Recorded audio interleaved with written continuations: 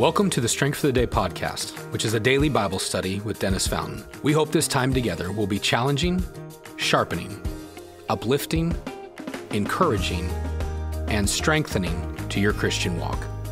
Thank you for joining us, and we pray you are helped through today's study. Hey, good morning, and welcome to Strength for the Day. And we are um, launching this episode. It will be on uh, March 8th. And so hope you've had a good week and uh, hope that it's been a week just walking with the Lord. We are, of course, for our church, looking into this weekend.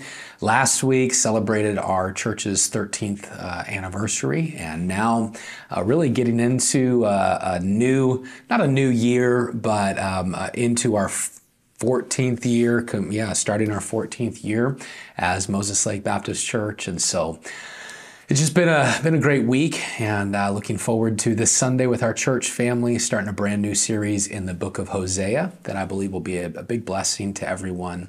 And uh, preached through Hosea a number of years ago on Sunday nights, and I'm looking forward to introducing the series and bringing it back um, really just a, a, new series through the book of Hosea.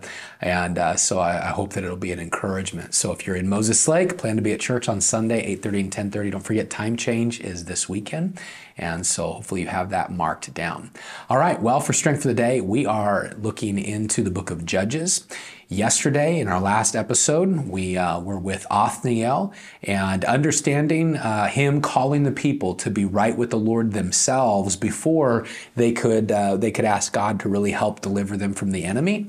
And we learned yesterday just about the really the principle, the simple truth of getting sin out of our own life before we uh, before we have a bunch of requests to the Lord. And and the reason for that really, and I, I'm not trying to repeat yesterday's lesson, but the reason for that is just understanding that the Bible is very clear. Uh, the Lord says that He He will hear us, but uh, He says He doesn't have to respond to us when we hold iniquity in my heart.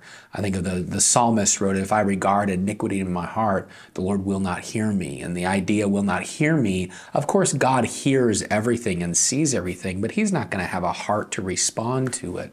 And so we want God, I want God to have a heart to respond to me. So I want a, a right walk with Him. Today we're going to come to Judges chapter 3 and verse number 12 down through verse number 30. It's a longer portion of Scripture, so we'll read it right now.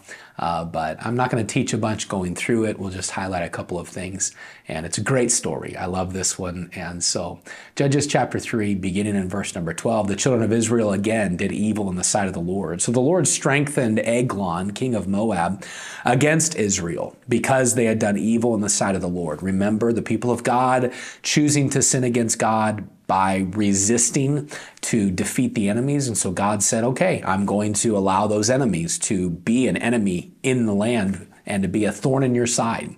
Well, the children of Israel sin against God this time, and God says, okay, I'm going to use uh, Eglon, the king of the Moabites, to come in and to enslave you.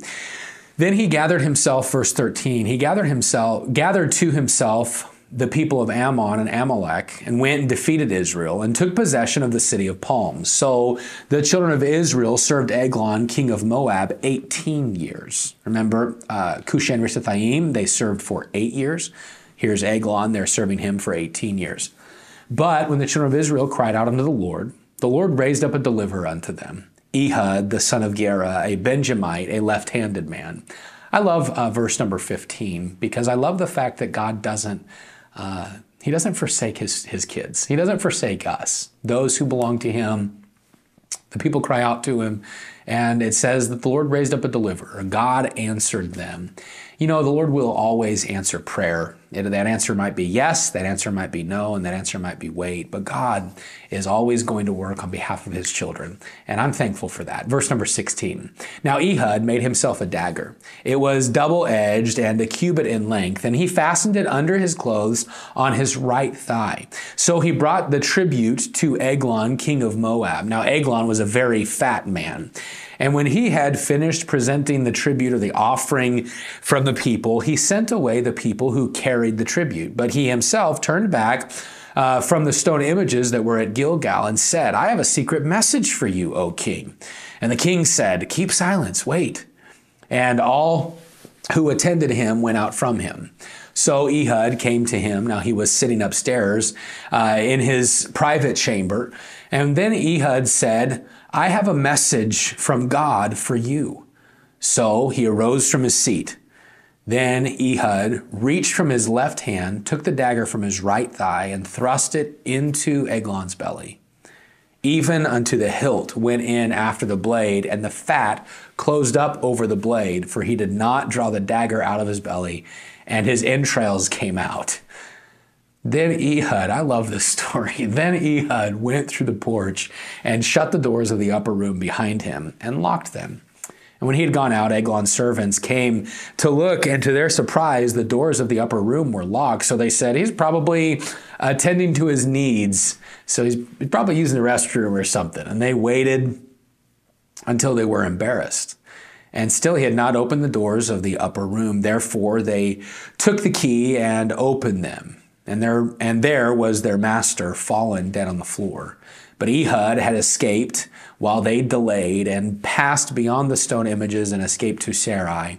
And it happened when he arrived that he blew the trumpet in the mountains of Ephraim, and the children of Israel went down with him from the mountains, and he led them. Then he said to them, Follow me, for the Lord has delivered your enemies, the Moabites, into your hands. So they went down after him, seized the fords of the Jordan, leading to Moab, and did not allow anyone to cross over. And at that time they killed about 10,000 men of Moab, all men of valor, and not a man escaped.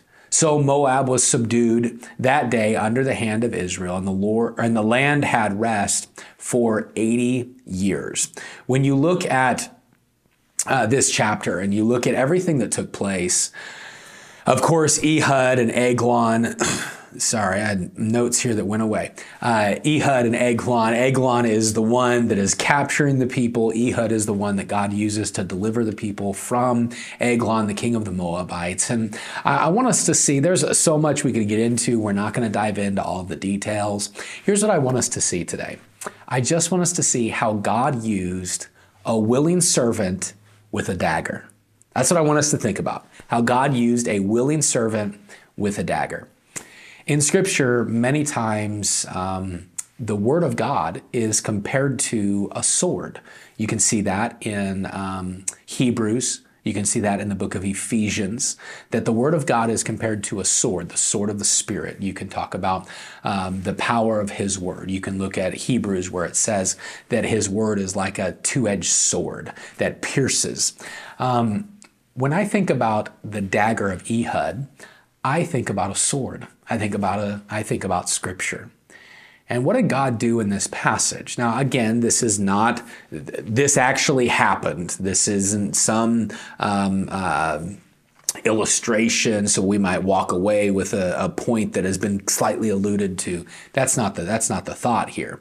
This story actually took place, but there are some things that we could gather from this. So, Ehud was a willing servant.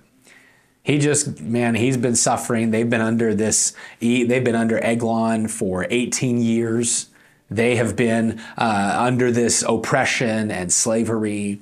And uh, Ehud just simply says, you know what, God, I'm willing to be used. I'm willing to be used. And here's what I have I have my dagger. I have this dagger, and this dagger represents, uh, to me right now, and looking at this story, represents the Word of God. And here's, here's the principle I just want to get out. You know what God's looking for today is God's looking for a willing Christian with the Word of God to just simply stand up for the Lord, to speak up for God, a willing Christian to be used to attack the enemy with the Word of God. You know, the devil fears when a Christian really embraces Scripture and allows Scripture to be active in their life. And boy, when I use scripture in my life, it helps me to overcome sin. It helps me overcome discouragement. The Word of God helps me overcome the frustrations and the bitternesses that so often attack my heart. The Word of God helps me overcome um, the, uh, the hurts and the frustrations and the anxieties that I face. Uh, I'm thinking about this even working up to our church's 13th anniversary last week and uh, the last couple of weeks, man, my, my heart was anxious a little bit. Of course, many of you that go to our church with our building fund and all of that stuff. And you know what the Lord did? The Lord used the Word of God. I was just listening to some music that was Scripture, and I was listening to a challenge on, uh, on leadership from Scripture.